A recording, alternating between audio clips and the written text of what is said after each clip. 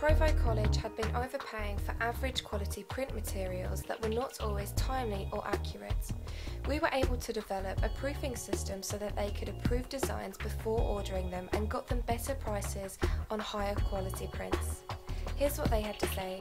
Ahmad is a genuine article. When he says he will do something, consider it done. No question about his high integrity and standards. Ahmad has his client's best interests in mind and will not settle for giving anything less than great service.